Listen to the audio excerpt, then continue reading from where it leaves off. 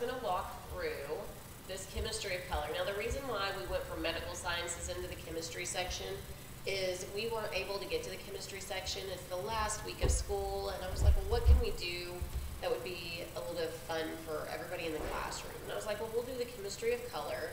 And once we learn about that, then we always make tie-dye shirts and answer some questions about wavelengths coming off of your tie-dyed shirt. So this is really the last reference page, last packet that we'll have in here. All right, um, so it says color. Color is everywhere. We live in a world of colors. Not only are colors of every shade found in nature, we also like to surround ourselves with human-made products assembled in our favorite colors. The colors you see in nature are almost always there for an important reason. A flower's color helps to draw the attention of insects that will help with pollination of the plant. The bright colors of a poison arrow frog warn potential predators that they should leave the frog alone if they know what is good for them. The frog is poisonous and will make a predator extremely sick if the frog is eaten. The green color of a katydid grasshopper helps it become camouflaged in the green tree leaves where it lives. Predators have a difficult time finding and eating the katydid. The colors of human-made products like cars, clothes, carpets, and toys are simply chosen to please those who purchase them. So what is color? The colors that you see around you are nothing more than light energy. Light energy travels from place to place in waves that are similar to the waves you might see on the ocean, and this is what kind of is crazy to think about is the different colors you see depends on the wavelength. So, you know, if you see an ocean or even on the pond, it's a nice calm day and the, and the waves, if there are any, are really like small versus like a really windy day and you see these big waves. Well, the waves of colors come in different sizes too. So the size of the wave determines what color you see.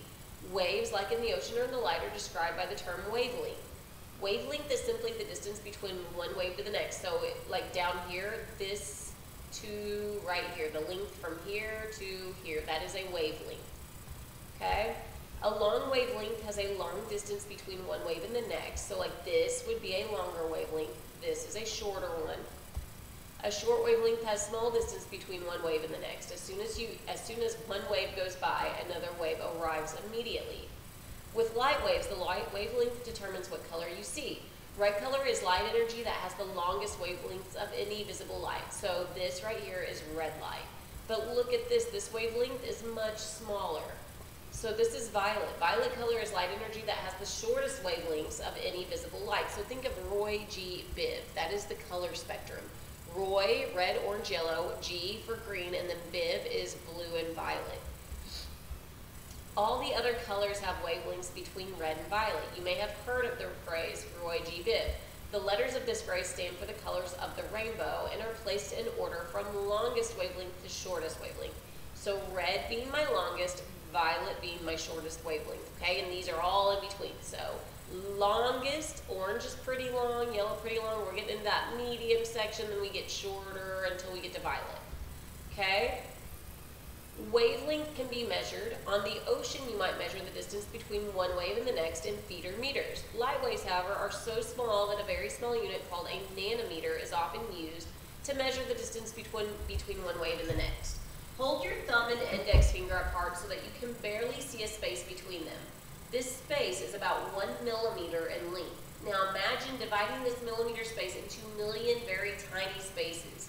Each of these unbelievably tiny spaces would be one nanometer in length. The symbol for a nanometer is nm. So really, I'm sitting here doing that, like I've got it to where my fingers are just not even touching, they're barely apart. And then I would have to take that itty bitty space that I'm looking at and divide that up a million times more. So it's impossible for us to see that small. The table below shows each color and its wavelength measurement in nanometers. As you can see, red has the longest wavelength with violet the smallest. So red colors are in the 700 nanometer range, whereas violet is in the 400. And you can see where like just a little bit of change, violet to indigo to blue, it's just a little bit of change there. If light energy with a wavelength of around 700 nanometers enters your eye, you will see red. If light energy with a wavelength of around 470 nanometers enters your eyes, you will see blue. Where does the color white fit in? And this is important because they will ask you, I'm reading this and trying to like make sure you hear this, because they're gonna ask you questions here in a second about this. So where does white fit in? White is the color you see when all the color of wavelengths enter your eye at the same time. White light is really Roy G. Biv all mixed together. So right now I am staring at the white on my computer screen and a white piece of paper, and that is because from that image right there, those particular areas in white are emitting every wavelength of frequency to my eye. And I see white from that. Because that, like when the sunlight, and here's the thing, the sun has to hit it. You have to have energy hit it. So as soon as light energy hits that paper, the stuff that gets reflected back to my eye in those spaces is every single color. And that's why I see white. And it, it seems weird, right? It seems like if they all hit your eye, it should be black because every color is hitting your eye, but it's not, it's white. So where does the color black fit in? Black is the color you see when there are no color wavelengths entering your eye. Just the absence of light. So here, this area right here that is, I see black, I'm sure everybody sees black right here. It is because when light energy hits that, it is all absorbed and nothing is emitted to my eye. So right now with the lights on in here, the light hits my computer screen and it absorbs all the colors of light right there and nothing is reflected back to my eye. So I just see black and you all see black. All right, but in this right here, this white section, light hits this and every single wavelength of color is reflected back to my eyes. All right, so what makes the things around me appear different colors? Remember that white light contains all the colors of the rainbow, Roy G. Biv. White light comes from the sun or from artificial sources like light bulbs. If white light, a combination of Roy G. Biv, enters your eyes, you will see white. If you have, uh, you have already learned that chemical compounds, molecules have many properties. One of these properties is color.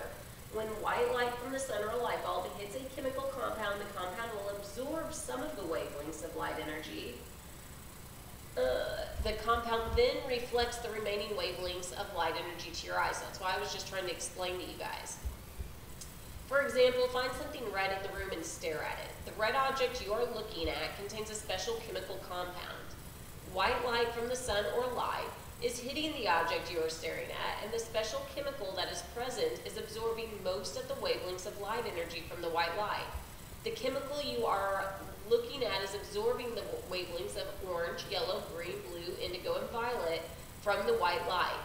This chemical, however, does not absorb the red wavelengths of light, which reflect or bounce off the chemical and enter your eye.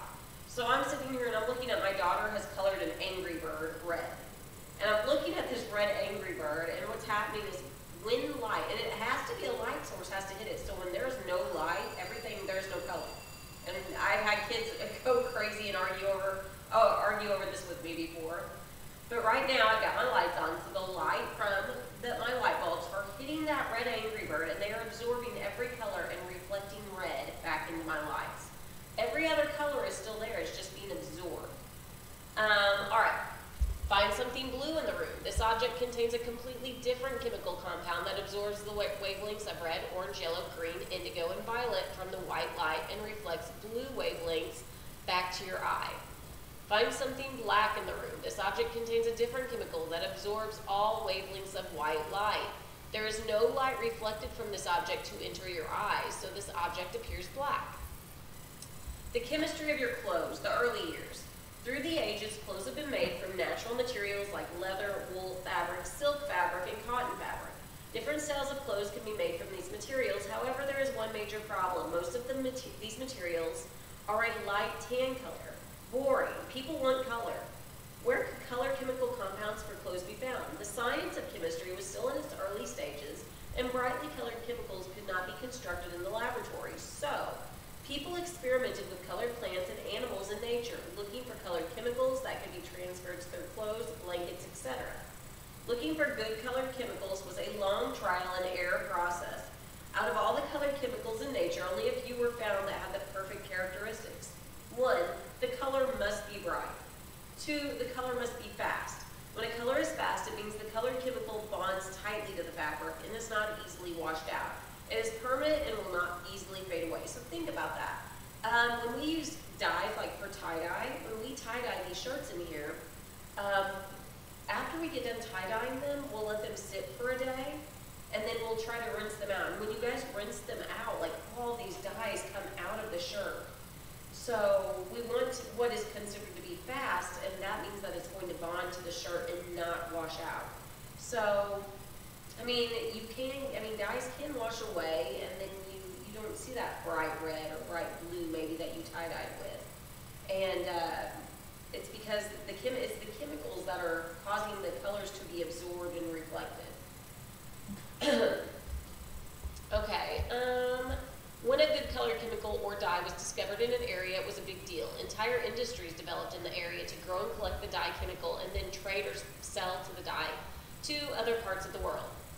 Uh, here are a few of the important natural dyes used throughout our history on Earth. We have red. The Dutch grew the madder plant and extracted a red chemical from its roots. This dye was used to color the coats of the English sol soldiers during the Revolutionary War.